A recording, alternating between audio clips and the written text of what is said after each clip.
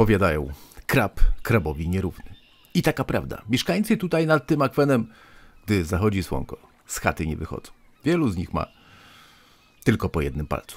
Ale nasz bohater, Stanisław, to zupełnie inna Polka. Po pierwsze, nie mieszka w Krabowie, a w Polsce. Jak tu przyjeżdża, to niego ryby i tak dalej. To on przyjechał polować, a nie ryby na i kraby na niego. Dzisiaj miejsce fajne bardzo blisko. Nie potrzebujesz łodzi, nie potrzebujesz niczego. Czyli tam, gdzie lądujesz, tam, gdzie jest łódka. Jest pewna kładka. Składki większość graczy łowi na stojak. Cztery wędki lub trzy, w zależności ile mają. Ja muszę powiedzieć, że dawno, dawno temu, gdy łowiłem regularnie i dużo Fishing Planet, to też stawałem tutaj z stojakiem na wędki, cztery wędki rzucone i kawa, i kawa, i szlug, i kawa. Dzisiaj kawy piję, szluga, no to już bardzo mało, ale nie łowię na, na gruntach. W większości tutaj, jeżeli chodzi o ten akwen, czyli krabowo. A jest to akwen, w którym zachody słońca powodują, że twoja teściowa w domu mówi. U nas na wiosce są podobne. Być może, rzadko jeszcze, ale zacznijmy od tego. Co tu można złapać? Tutaj można złapać całą plejadę ryb. W zasadzie prawie wszystko, co jest na tym dużym akwenie. Duży, duża rozpiętość również od małych do dużych. Musisz uważać. Nie masz dobrego sprzętu, odpowiedniego sprzętu, to w wodzie będziesz pływać. A później wam pokażę coś, co się dzieje, jak wpadniesz do wody. Na razie niech weźmie jakaś piękna ryba.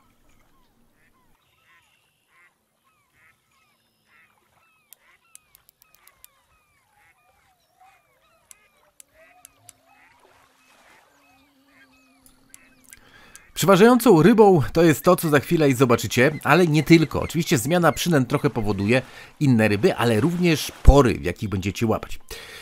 Żukwa. Żukwa tutaj siedzi. Będziecie łapać oczywiście unikatów, to za dużo nie, bo to nie te, te lata, że można było złapać 10, ale w każdym razie będzie. Zawsze przeważnie na początku waszego połowu unikatowy żukwik, czyli w pierwszych rzutach, a nawet w pierwszym często gęsto unikatowy żukwik pospolity. Ten akurat nie jest za duży, jeszcze całkiem tak bym powiedział, ale też już na talerz dla teściowej starczy. Teraz zobaczcie co ja robię. Biorę wędkę bardzo delikatną, jak ten, na ten fragment. Tutaj oczywiście to jest zabawa, to jest walka z rybą, ale nie proponowałbym graczowi, który się uczy, żeby to też robić, dlatego że to może się skończyć bardzo tragicznie dla niego, a również może się skończyć wielogodzinnym, to może nie, bo to nie Russian Fishing 4, ale na pewno długo. Ja wam kiedyś mówiłem, moja walka w Fishing Planet najdłuższa to chyba godzinę 10 albo godzina 15, ale generalnie takie dwudziestki to dosyć często e, zdarza mi się i większe walki toczyć. Po pierwsze, jak widzicie, ja nie stosuję zacisku. Zacisk powoduje to, że wam się nie zerwie żyłka, przypon. To już jest pewne ułatwienie, dosyć poważne. Oczywiście e, stosujesz tak jak chcesz, ale jeżeli chcesz przeżyć walkę, to już pierwszy element, który trzeba odciąć. Po drugie, to jest bardzo delikatny zestaw i musi być sporo żyłki. Oczywiście ta walka nie ma sensu stosować ją za często, ale raz na jakiś czas dobrze takie coś przeżyć, dlatego że to daje gigantyczną, ale to gigantyczną frajdę. Tutaj akurat ten zestaw to jest dobry na basy. I basy dajemy radę spokojnie, chociaż walka czasami też bywa, jak jakiś większy bas, a szczególnie ten większy gatunek, to już w ogóle będzie jazda, ale generalnie to na te miejsce, gdzie stoimy tutaj, to tak średnio na jeża bym powiedział, trzeba już trochę kombinować. tutaj walka trochę potrwa, ale Stasik, być Stasik, gdy on trzyma wędkę, po drugiej stronie jest ryba. Następuje przeciąganie liny, a w zasadzie żyłki, plecionki.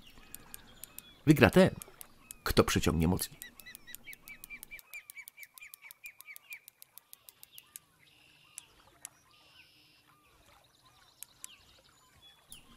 Taka walka oczywiście stosujemy raz na jakiś czas dla zabawy, dlatego że mm, e, niszczy Wam się sprzęt, czyli wędka, żyłka, to wszystko Wam się bardzo szybko niszczy przy takiej potężnej walce. Ta ryba akurat nie jest jakaś gigantycznie duża, żeby aż nam tak zaszkodziła e, temu sprzętowi, ale jeżeli byście złapali, a tutaj można złapać naprawdę coś potężnego, to będzie jazda. Jak widzicie, ja stosuję tutaj wszystko w zasadzie. Tutaj założyłem giga i dodatek. I tak tutaj w tym miejscu łowię. Przeważająca moja technika na spina to jest z opadu. I wszystko. Najlepiej buzbajdy, różne dzigi i tak dalej. Do tego dodać coś. Kopyto, jakieś inne gumowe, coś, robaka i tak dalej i sprawdzać. Czasami nawet ogony dodajemy, zresztą wam to pokażę. Te różne dodatki na te buzbajty i tak dalej, te dzigi e, basowe, to wszystko sprawia, że inny gatunek trochę weźmie, teraz rozmiar haczyków. Jeżeli zastosujecie trochę mniejszy, tu jest nawet y, taka niewielka ryba, która też może wam na to brać, a bardzo lubiana przeze mnie. Ale oczywiście przeważającą rybą to będzie żuchwa ale są też inne ryby, które mogły wziąć w tym momencie na, to, na ten zestaw i wtedy Stasiek może by nie śpiewał, bo łowi od początku tej gry. Z przerwami. Gdy wpada, to musi stoczyć jakąś walkę, bo wtedy krew zaczyna mu buzować. Kiedyś mówili, że jego krew to już nie krew, a coś, co ma 40 V. Dzisiaj mniej, bo bardziej się delektuje. w każdym razie Taka walka daje, daje Friday to gigantyczną. Oczywiście, tak jak mówię, raz na jakiś czas. Na razie ryba walczy, odpływa. Widzicie, że nie tak prosto ją przyciągnąć. Co jest najważniejsze podczas takiej walki? Aby nie poluzować żyłki. Jak poluzuje wam żyłkę, ryba bardzo szybko może spaść, w zasadzie w sekundę. Czasem nawet jak sprawdzacie, gracie tak jak Stanisław wiele gier wędkarskich, to w rusku e, ryba potrafi spaść w sekundę, a jak chcecie, żeby spadła sama, bo jest za duża, otwieracie kabłą, to ona potrafi wyciągnąć całą żyłkę i nie spadnie. Tutaj też może być podobnie. To wszystko zależy. Może być bardzo szybko, a może to trwać. Trzeba kombinować. Po drugie, nie kręcić przypadkiem kołowrotkiem zbytnio, jeżeli ryba ciągnie starać się tylko napinać tą żyłkę, dlatego że ona, wtedy ona dostaje szału i ucieka od was. Jak ona ucieka od was, to wyciąga żyłkę. Medal. Ponad 11,5 kg. Ładny. Żeby był unikat, jakieś 5-7 minut więcej byłoby walki. Może dychę, to wszystko w zależności jakiej byłaby wielkości ta ryba. Jest to wędka około 10 kg. Wędka, mówię, idealna na basy, nie te największe. Nie, nie, nie, ten gatunek największy, który tutaj też jest, yy, to nie za bardzo. Poczekajmy, bo samolot leci.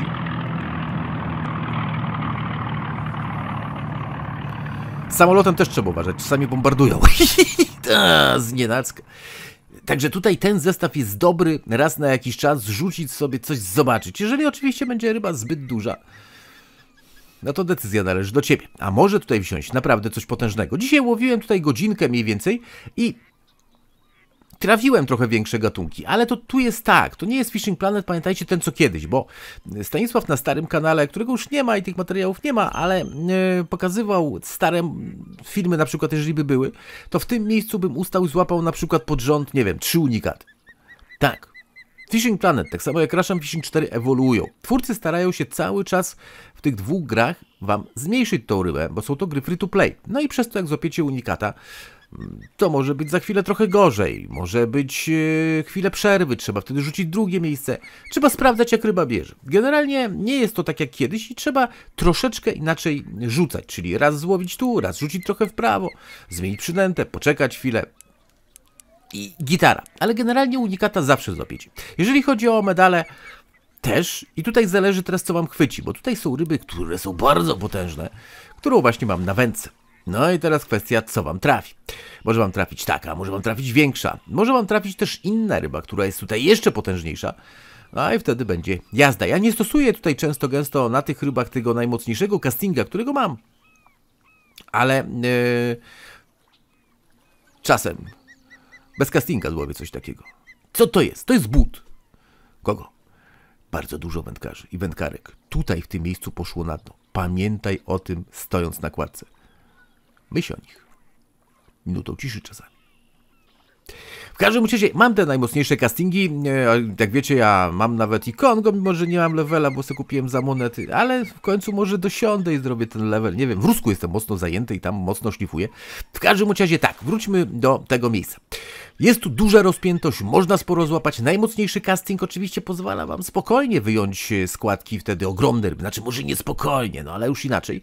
Ten co ja stosuję, te castingi, one są słabsze, jeszcze osłabiam je żyłkami. Przez co e, niektóre walki są takie nawet z rybą 20 kg, czy 25 już taka jazda jest. Tutaj oczywiście wędkarz sam dobiera to, co mu pasuje. No właśnie ta chroma. Tutaj można chwycić tą chromę, a chroma jest dosyć spora, tylko że ona też nie jest taka jakaś silna. Nie, nie, nie. To ryba, rybie nierówna, pamiętajmy o tym, to nie tarpon. Tarpon to zupełnie co innego, a rapaima tego rodzaju ryby to ryby, które potężnie szaleją w wodzie. Dzisiaj złowić bez zacisku arapaimę unikatową z łódki na kotwicy, na jeszcze sprzęt taki dobrany, żeby była jazda, to wam powiem, że czasami przygoda życia to to mało powiedziane. To może być coś, co zapamiętacie do końca życia. Tak bywa. Generalnie miejsce fajne. Miejsce, które można spokojnie postać w różne pogody. Nawet jak jest gorsza, można tutaj stać i łowić. Oczywiście wybór w sprzętu, czy grunt, czy spin, można i spławik. Wszystko to zależy od Was. Ja jako gracz, który w Rusku stał się spinningowcem, chociaż też myślę nad pewną techniką, może na karpie teraz zmienię trochę dla relaksu, bo karpie są bardzo relaksujące. I nie wiem, ale generalnie jestem od dawna spinowcem i Fishing Planet również łowię na, na spina, ale tutaj naprawdę można stosować wiele, wiele technik.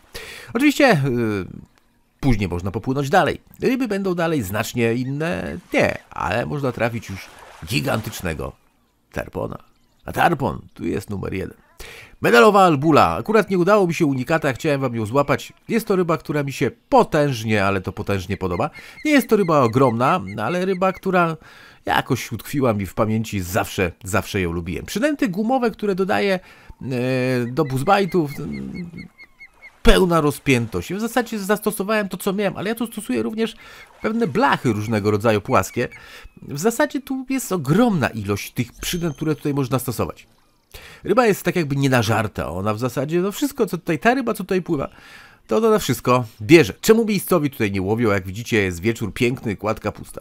Tak jak mówię, paluchy paluchy. Tutaj pamiętajcie o tym, to być krabowo, a w krabowie niestety każdy palec na wagę złota i niektórzy mają już złoto, ale palców niestety nie mają.